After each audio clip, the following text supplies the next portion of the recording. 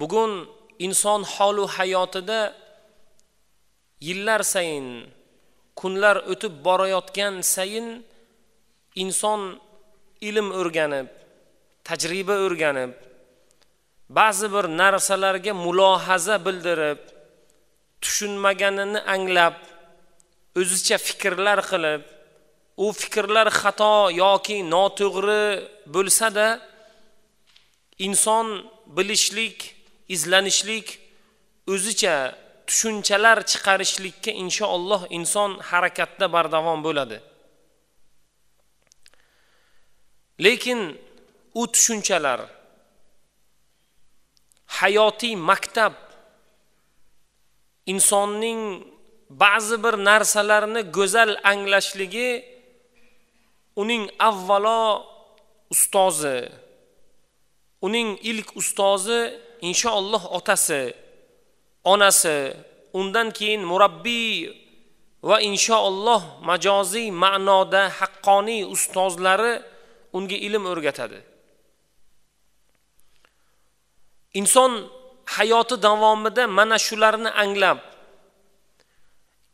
dunyoda inson o'zi nima uchun yaratilindi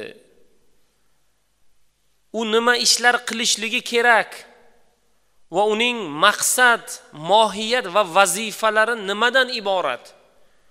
Va u ishning asosida kim turibdi?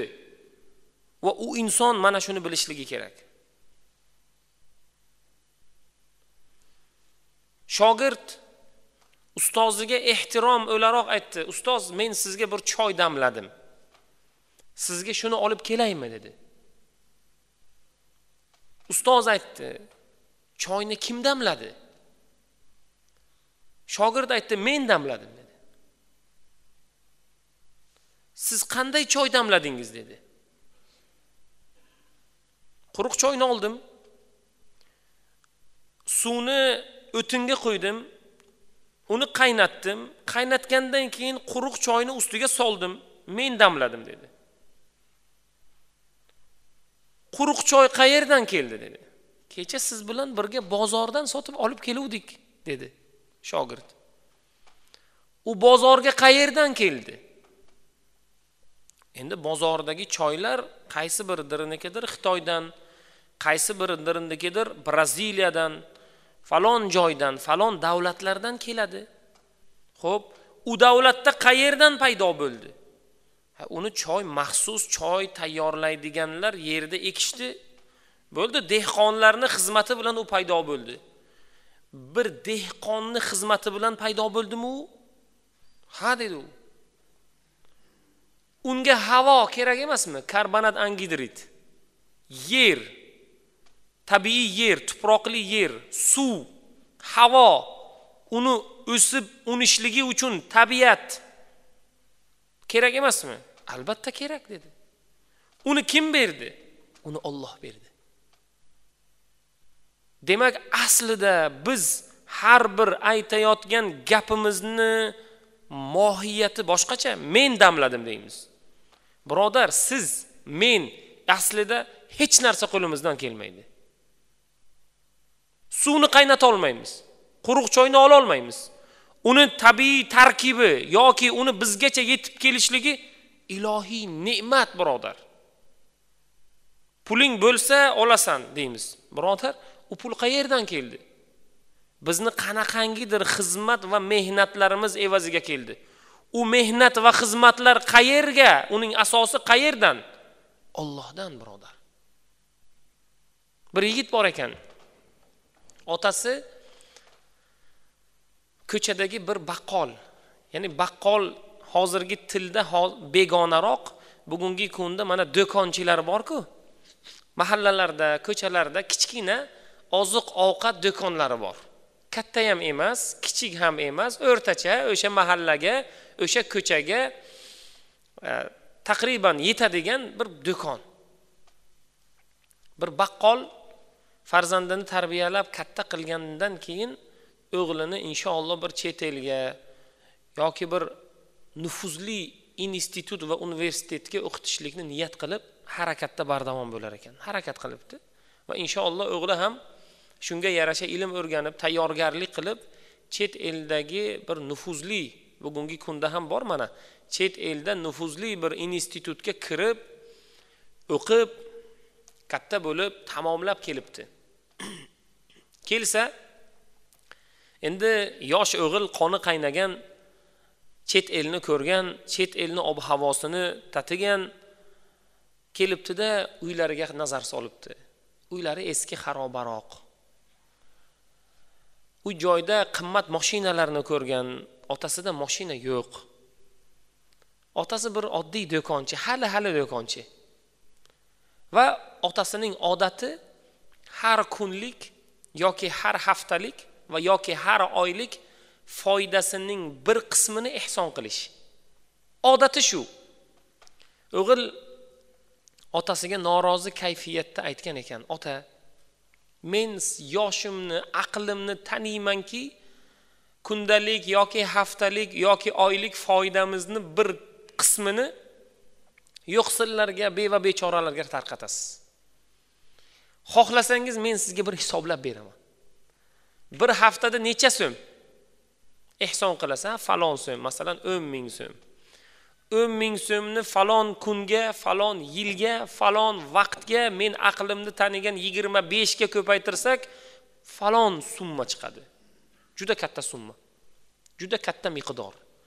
Ota men biz bu pulni ehson qilish o'rniga mana shu pulga bemalol uyimizni ta'mirlab zamonaviy holatga keltirsak bo'lardi. Yoki bitta bir chiroyli moshina olsak bo'lardi. Chunki biz o'zimiz moshina bilan uyga muhtojroqmiz. Dedi. Otasi bir xo'rsinib o'g'lining bir ko'ziga qaradi. Endi bilmadim ota o'sha paytda nimani qalbidan o'tkazdi? Shu ham mendan chiqqan ekanmi dedimi endi? Shu ham bir o'g'ilmi dedimi endi? Nimadir dedi. Va norozi kayfiyatda aytdi o'g'lim sizni aytgan gapingiz to'g'ri. Siz endi matematika sohasida o'qib keldingiz. Hisob kitobni siz juda yaxshi va go'zal bilasiz. Ajoyib menga hisob kitob qilib berdingiz. Sizga endi bir men savol bermoqchiman. Ho'p qanday savol? Siz dunyo hisob kitobini chet elda o'qib keldingiz. Shuni nazariy menga ayting. Dunyoda it ko'pmi qo'y ko'pmi degan ekan. O'g'il aytibdi albatta tabiiy qo'y ko'p. Hamma biladi buni. Qo'y ko'p itdan ko'ra qo'ylar ko'p. Lekin aslini olganda yilida it tug'sa besh oltita tug'adi. Beshta oltita tug'adigan qo'y yo'q.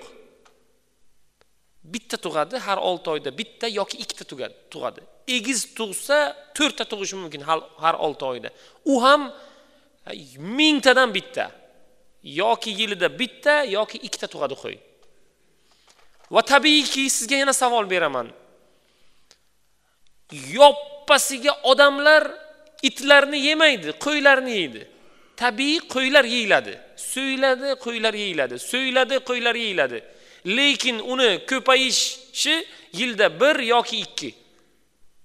Itlarniki to'rt besh ko'p. Nega unda itlar kamu qo'ylar ko'p. O'g'il bu savolga javob bera olmaydi. Jim. Ota aytdi haqiqatda bu savolga siz o'qigan matematika javob bera olmaydi. Chunki siz o'qiydigan va o'qib kelgan qo'shuv va ayruvlar bo'lish va ko'paytirishlar bu narsani javobini topolmaydi o'g'lim. Buni javobini Alloh biladi.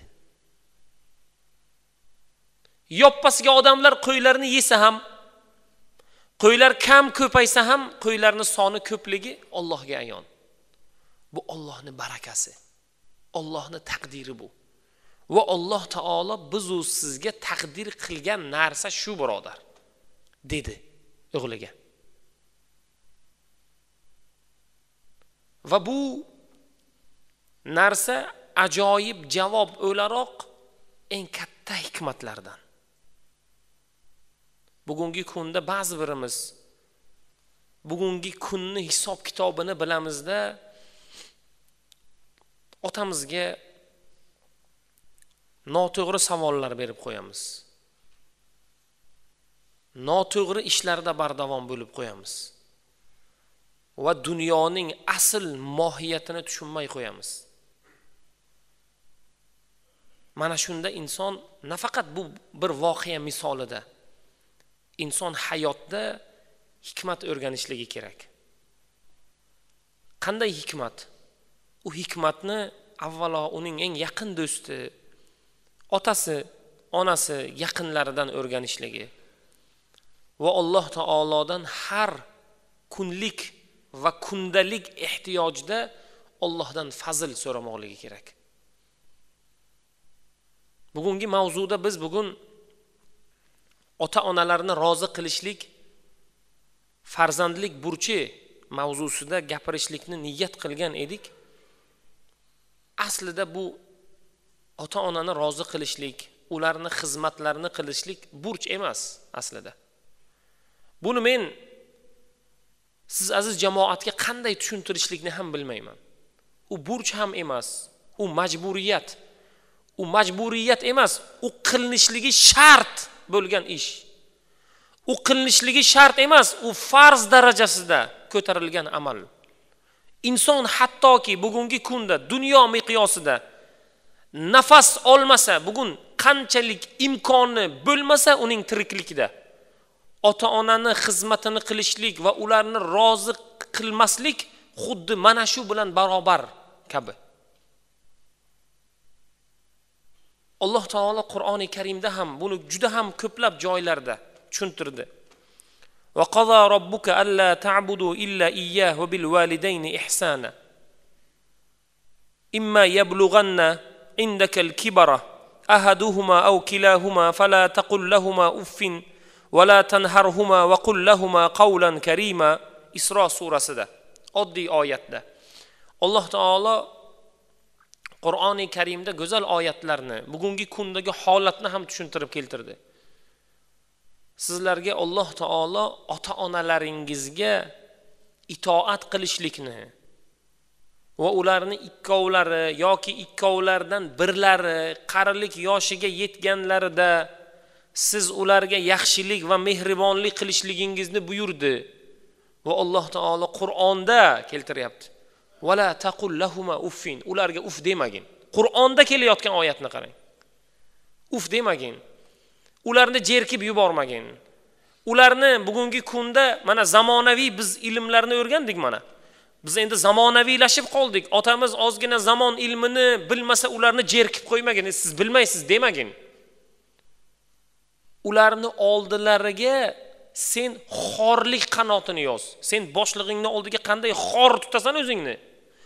Ota onangni oldiga sen mana shunday o'zingni xor tut. Oyoq osti qil. Ularga uf dema ularga baland gapirma. Ularga ularni jerkima. Ularni gaplari noto'g'ri bo'lsa ham jim o'tir. Degan oyatni alloh taolo qur'oni karimda keltiryapti. Bu holatni olloh taolo bilib turib qur'oni karimda keltirayotganligi. Go'zal ajoyib mo'jiza. Bu holatni nega aynan zikrlar ilmlar hadislar kelayotgan paytda aynan juma ma'ruzalarida ota onani hurmat qilishlik ularni e'zozlashlik to'g'risida bugun gapiryapmiz. Nega? Bugungi kunda mana shu illat bugungi yoshlarimizda ko'p. Alloh taoloni o'zi panoh bersin. Payg'ambar sollallohu alayhi vasallam sahobalar g'azotga chiqaman hijrat qilaman jihodga chiqaman deb turgan vaqtlarida aytdilar seni ota onang bormi? dedilar. Ha dedi. Bor dedilar. Seni jannating o'shalar o'shalarni xizmatini qil xursand qil dedilar. O'sha bilan sen jannatga kirasan deyaptilar. Aynan bugungi kunda masjidda imommiz ba'zi bir shikoyatlar keladi. Domla deydi. Meni o'g'lim sizni masjidingizga qatnaydi. Jumaga boradi. Besh mahal namoz o'qiydi. Lekin bizga bunday qiladi bunday qiladi. Kelsa ikki ko'zi telefonidan bo'shamaydi. Biz gapirsak unga qo'ng'iroq bo'lib qoladi. Biz gapirsak keyinroq deydi degan gaplar va shikoyatlar bilan kelishadi. Biz bundan uyalamiz. Va biz deydi ota onalar ularni har bir ishim ko'p deganiga sog'insakda ularga qo'ng'iroq qilmay ularni chaqirmay turamiz deyishadi. O'sha odamlarni ko'ramiz. Keladi masjidda namoz o'qiydi. Domla deydi biror bir xizmat bo'lsa menga ayting. Men aytgim keladi dom birodar sizga bir katta xizmat bor. Juda katta xizmat. Ota onangizni holidan xabar oling. Desam u ota onasidan battar ranjiydi. Chunki otam yoki onam kelib meni shikoyatimni domlaga qilgan deb o'ylaydi. Ularga men aytgim keladi birodar sen hamma ishingni qo'y tijoratingni qo'y yurish turishingni qo'y do'stlaringni qo'yda ota onangni borib rozi qil. Ularni oldida bo'l. Ularga ehson ber. Degim keladi. Ular bugungi kunda oramizda bor jamoatda bor. Biz aytolmaymiz chunki omonat bu va'da. Biz aytmaymiz. Sizni aynan sizni ularni ota onalari kelganliklarini aytmaymiz deb va'da berganmiz. Birodar bunday bo'lmaydi. Ota onalari vafot etganlardan bir so'rang. Menga kecha bir ayol otalari qattiq betob avtoavariyada qattiq betob bo'lganlarida taqriban bir yarim oy to'shakka mixlanib yotgan ekanlar. Kelib yig'lab aytadi men otam bir umr nogiron bo'lib men bilan birga turishligiga roziman. Lekin otam vafot etdilar deydi. Shunga otasi nogiron bo'lib tirik yurishiga rozi bo'lgan odamlar bor. Birodar ota onalarimiz bugun tirik duogo'ylarimiz bizni kutib o'tirishibdi.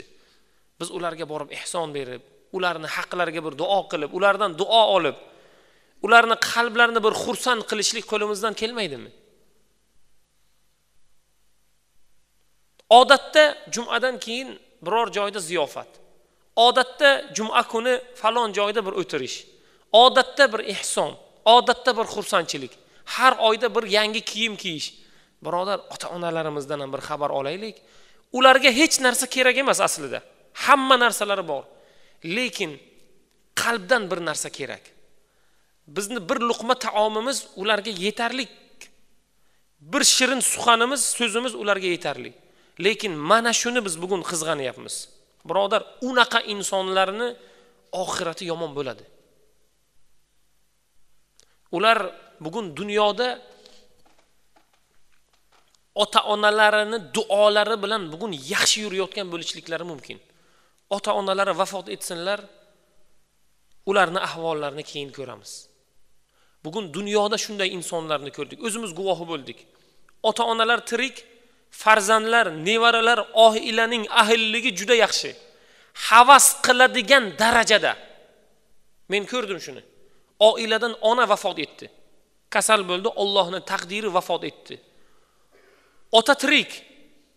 Undan keyin oila kecha havas qiladigan darajada edi. Bugun qarab bo'lmas darajada. Olloh o'sha ona orqali barakani tinchlikni salohiyatni mehr muhabbatni olib ketdi. Birodar mana shunday bo'lib qolsachi? Bugun duo oling. Ollohdan yaxshilik so'rang. Siz ham ota bo'lasiz ota bo'lgansiz. Farzandlaringizga xuddi shunday duo bering. Yaxshilik qiling. Alloh taolodan fazl so'rang. Ehsonlar beramiz bugun. Payg'ambar sollallohu alayhi vasallam olimlarimiz nima dedilar? Ehsonning eng yaxshisi ahli oilaga qilingan ehson. Ehsonni eng zo'ri bugun ota onaga qilingan ehson. Birodar birovni qo'ying ehsonni. Birovga bir yaxshilikni qo'ying. Ota onangizni holidan xabar oling. Ovqat oling. Yoki vaqtingizni o'sha vaqtingizda pul ishlaysiz o'sha vaqtni sarflang ota onangizga o'sha daromaddan siz qoling birodar. Mana shu ehson. Mana shu ollohni yaxshiligi. Ota onasi vafot etganlar. Bugungi kunda ular ota onalarini haqlariga duo qilsinlar. Mana shu ularning eng katta manfaatli ishlari. Ota onalarni tiriklarini aytdik. Boring ehson qiling. Oldilarida o'tiring duolarni oling birga namoz o'qing birga ovqatlaning. Nima bilan xursand bo'ladilar o'sha xursandchiliklarni yaratib bering. Birov u joy bu joyga eting. Mana imkoniyat. Vafot etgan bo'lsalarchi ularni haqlariga duo olib bering. Ularni nomlaridan ehson qiling. Ularni haqlaridan bir tilovati qur'on qiling. Uch marta ixlos surasini o'qingda otangizga bag'ishlang onangizga bag'ishlang o'tgan avlodlaringizga bag'ishlang. Mana shu katta manfaat. Bugun otalari yoki onalari vafot etishgan ustlariga katta xarsang tosh falon pullik qo'yishadida bu hurmat belgisi bo'ladi. Aslida bu hurmat belgisi emas. Hurmat belgisi qabristonda katta qimmatbaho tosh qo'yishlik bu hurmat belgisi emas birodar. Undan ko'ra shuni ehson qiling. Birodarlarga yoki biror joy bir joyga sadaqa joriya qiling uni savobi otamga onamga falonga yetib yetib borsin deng. Mana shu ollohni fazilati. Biz bugun mana shu narsalarni tushunmayapmiz. Voqea avvalida aytganimizdek bugungi kunni hisobi bilan qo'shuv ayruv o'sha narsalar bilan biz matematik hisoblayapmiz bugun. Bu aslida juda noto'g'ri ollohni fazli bor. Alloh taoloni bizu sizga bandalarga atagan narsasi bor. Chunki alloh taolo qur'oni karimda payg'ambarimiz ahodislarida an amr ibn os roziyallohu anhudan rivoyat qilingan hadisda rizo rob fi rizal validayn va sohatur rob fi sohatihima ollohning roziligi ota onaning roziligida. Ollohning g'azabi ota onaning g'azabida deb payg'ambar sollallohu alayhi vasallam aytdilar. Mana shu narsa bor bizda. Bugungi kunda olimlarimiz bir iqtibos aytadilar. Bugun birodar ilmingiz salohiyatingiz oshib bormayaptimi? Demak o'zingizga yaxshi ustoz tanlab ustozingizni rozi qiling. Demak qaysi bir kasbda ishlaymiz qaysi bir tijoratda ishlaymiz? Tijorat ilmi kasb ilmlari hunar ilmlari yoki bugungi kunda fan ilmlari bizda rivojlanmayaptimi? Biz cho'qqiga chiqmayapmizmi? Demak ustoz bilan ustozni roziligi kerak bizga. Bugungi kunda tijoratimiz tijoratimiz yaxshi bo'lmayaptimi? Tijoratimiz oshib bormayaptimi? Tijoratimizda bir yaxshilik yoki ollohni barakasi bo'lmayaptimi? Demak sizda siz bilan otangiz orasida bir muammo bor. Tijorat o'smayotgan bo'lsa molingiz qo'shuv bilan bormayotgan bo'lsa ollohni barakasi sizda bo'lmasa siz bilan otangizni orasida bir muammo bor. Otalar vafot etgan bo'lsa ham mayli. Demak biz ularni eslamay qo'ydik. Biz ularni nomlaridan ehson bermay qo'ydik. Biz ularni nomlaridan tilovati qur'on qilmay qo'ydik. Namozlarimizda eslamay qo'ydik birodar. Demak bizni bugungi kunda jamiyatda obro'yimiz obro'yimiz masalasida bir putur obro'yimiz masalasida bir nuqson yoki obro'yimiz masalasida biz o'zgarish bo'lmayaptimi? Demak siz bilan onangiz orasida bir muammo bor. Mana shuni joyiga qo'ying. Ham dunyoda ham ularni roziliklarini istab harakat qilib ham oxiratda Alloh bizga fazl va baraka beradi. Mana shu narsalarni o'ylang birodar. Nega tijoratim yurishmayapti deymizda aybni nimadandir qidiramiz birodar. Va mana shularni o'ylab halollik sari ehson zakotlar sari qadam qo'ysak alloh taolo bizga albatta yaxshilik beradi. Olloh o'zgarishlar beradi. Alloh taoloni o'zi fazl va yaxshiliklarni alloh taoloni o'zi taqdir qiladi. Chunki payg'ambar sollallohu alayhi vasallam buni aytdilar. Imom ahmad rivoyat qilgan hadisda man sarrahu an yamudda lahu fi umrihi ويزاد له في رزقه فليسر والديه validayhu رحمه. Rahimahu kim umrining uzun bo'lishligi va rizqi keng bo'lishligini xohlasa va uning umri uzun va rizqi keng bo'lishligi uni xursand qilsa borib ota onasini xursand qilsin dedilar. Demak umrimiz uzun rizqimiz ham uzun keng bo'lishligini xohlasak ota onamizni borib xursand qilaylik. Va undan keyin qarindosh urug'chilik aloqalarini mustahkam qilib ularni ham inshaalloh ehson va yaxshiliklariga bardavom bo'laylik. Chunki payg'ambar sollallohu alayhi vasallam aytdilar xolalar ona o'rnida ona vafot etgandan keyin. Amakilar ota o'rnida. Va bugungi kundagi xalq maqollar tog'olar bu u degan masalalar bor. Demak ularni ham ahvollaridan xabar olib ularga ehsonlar berishlik katta masala va alloh taoloni biz u sizda rizqdagi kengaytirib berishligi va yaxshilik inshaalloh berishligidir payg'ambar sollallohu alayhi vasallam aytadilar mamin muslimin lahu abavan insonni agar ota onasi tirik bo'lsa ota va onasi ertalab turganida ota onasi tirik bo'lsa demak unga jannatning ikkita eshigi ochiq. Birlari vafot etgan bo'lsalar bittasi ochiq. Ikkovalari ham vafot etgan bo'lsalar endi ular jannatga kirishlik uchun katta mashaqqat va katta xizmat qilishliklari kerak dedilar. Bugun ota onalar tirik bo'lganlar ular o'rinlaridan turganlarida jannatni eshigi ochiq holatda kutib olinadi. Va inshaalloh alloh taoloni o'zi hammalariga fazl bersin. Bugungi kunda har bir insonlar har bir narsada amallarda bardavom bo'lishadi. Ishlarda bardavom bo'lishadi. Rizq masalasida ular hatto qarindoshlari aka ukalari ota onalarini unutib yuborishadi. Bugungi kundagi eng katta bizni muammoyimiz shu. Insonni qalbida rizqdan xotirjamlik bo'lsa shar'iy odob va ahkomlarni hammasini joyiga qo'yadi. Bugun ota onasi bilan xayrlashmay uydan chiqib kelayotganlar qalbida bir talvasa bor. Nima? Men bir narsadan quruq qolaman. Falon joyga borishim kerak falon narsadan quruq qolaman deydida yuguradi. Va uyda ota onasi bilan bemalol vaqtini o'tkazmayotganlar rizqlaridan bir muammo bor. Ularni qalblarida bir illat bor bir kasallik bor. Rizq talvasasi. Yo'q birodar. Bunday emas. Ota onangiz duo qilsa u rizqni o'zi keladi sizga. Ikkita tilanchi bor ekan. Ikkovi ham saroy darvozasini oldida malikadan ehson olishlik uchun kutarkan. Malika endi ko'chaga har necha vaqtda chiqadi. O'shandan malikadan ehson olamiz sadaqa olamiz deb kutarkan.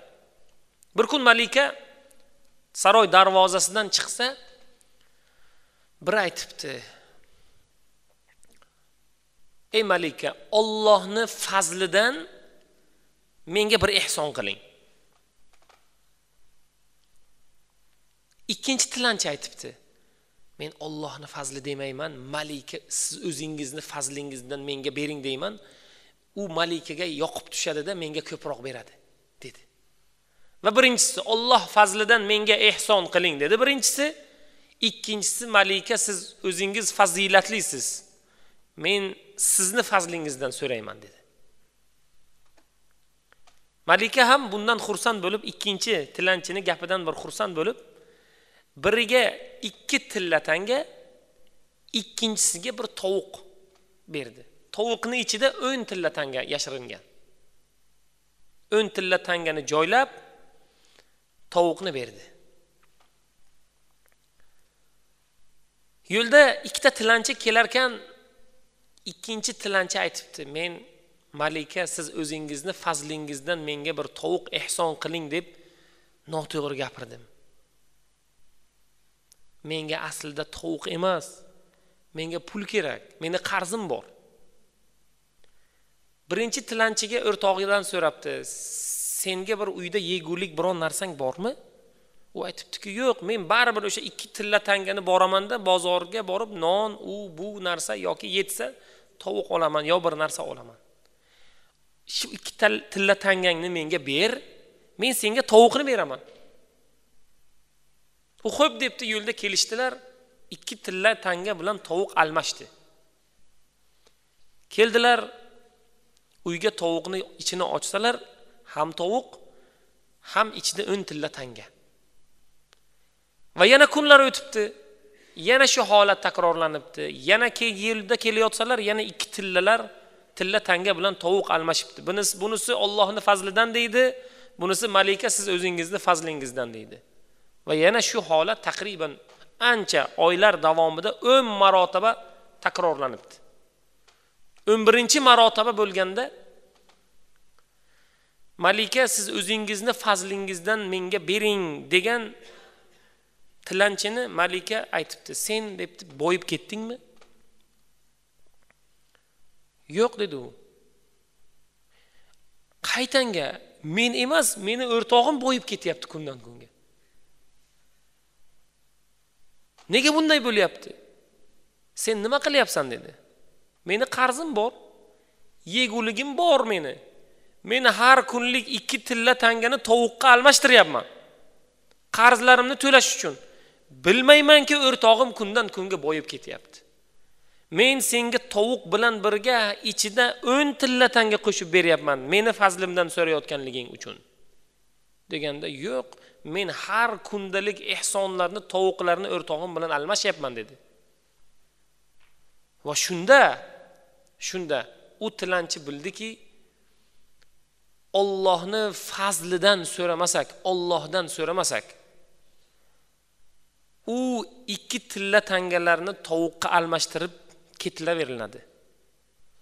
Va alloh taoloni fazlidan va robbimizni o'zidan biz so'ramasak qo'limizni oldiga ya'ni oyog'imizni tagigacha kelgan narsa birovlarniki ham bo'lib ketaveradi. Demak inson avvalo o'zidan emas o'zining rahbaridan emas. Bugungi kunda ishimiz kimgadir bog'liq. O'sha odamdan emas uni robbisidan so'raylik.